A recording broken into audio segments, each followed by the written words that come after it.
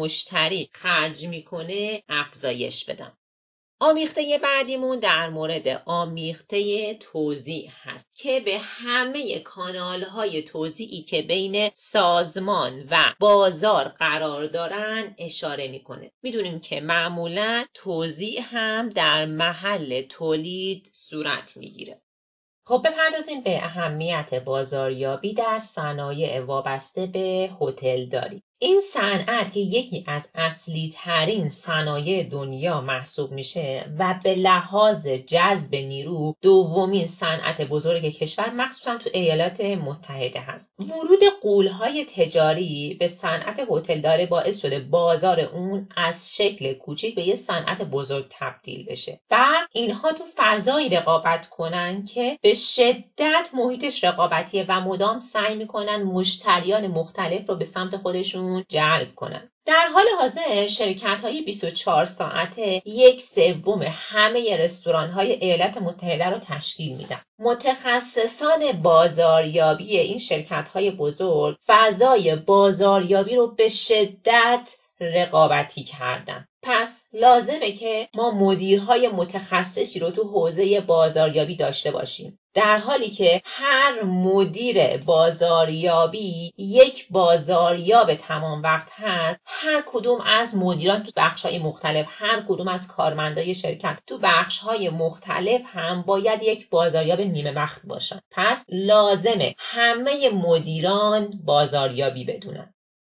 اما بپردازیم به بازاریابی جهانگردی. صنایع مربوط به هتلداری و سفر می‌دونیم دو صنعت مهمی هستند که تحت عنوان بازاریابی جهانگردی فعالیت می‌کنند بازاریابی موفق تو حوزه هتلداری به شدت به کل صنعت سفر وابسته هست. فرزن می‌بینیم که موفقیت خطوط کشتیرانی حاصل همکاری بخش بازاریابی هست با خیلی از اعضایی که تو صنعت سفر شاغل هستن. فرزن وقتی بندر بوستون می‌خواست کشتی های تفریحی بیشتر و کسب و کار پررونقی رو داشته باشه مسئولان بندر به یک بازاریابی پرتنشی دست دادن تا بتونن از این طریق توجه خطوط کشتیرانی رو جلب کنن. کمتر صنعتی رو می‌بینیم که به اندازه هتلداری و سفر به هم وابسته باشن. خب این وابسته بودنشون باعث پیچیدگی موضوع میشه. صنعت سفر به متخصصانی تو حوزه بازاریابی نیاز داره که درک درستی از این تصویر بزرگ داشته باشن و بتونن به تغییراتی که تو نیازهای مشتریا به وجود میاد از طریق راهکارهای خلاقی که دارن پاسخ بدن.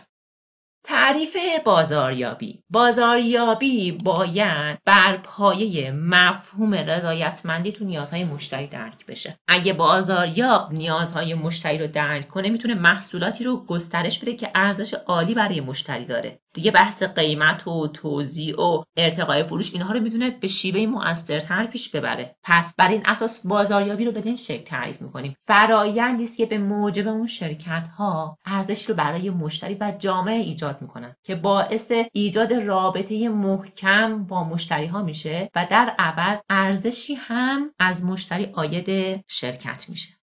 اما بپردازیم به ترسیم این فرایند. شامل یک شکل پنج مرحله ای هست. مرحله اول شناخت مکان بازار و نیازها و خواسته های مشتری. مرحله دوم طراحی راهبرد بازاریابی مشتری مدار. مرحله سوم وارد مرحله میشیم که یه برنامه بازاریابی جامع رو به وجود میاریم. در نهایت ارتباطات سود آوری رو ایجاد می‌کنیم که باعث ایجاد رضایت برای مشتری میشه و در نهایت مرحله پنجم کسب ارزش از مشتری ها اینجا یه ارزشی رو ما از مشتری به دست میاریم که اون ارزش آیدی که برای ما داره سود و ارزش ویژه‌ای رو برامون به همراه داره. تو چهار مرحله اول یعنی شناخت مکان طراحی راهبرد و ایجاد یک برنامه جامع و ارتباطات سودآور شرکت ها سعی می‌کنن تا مشتری رو بشناسن و ارزش مشتری و یه رابطه محکمی رو با مشتری به وجود بیارن اما تو آخر